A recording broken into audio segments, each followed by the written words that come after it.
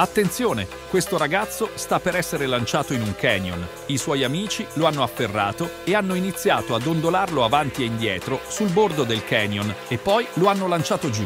Ha detto che saltare normalmente era troppo noioso. Avresti il coraggio di fare lo stesso?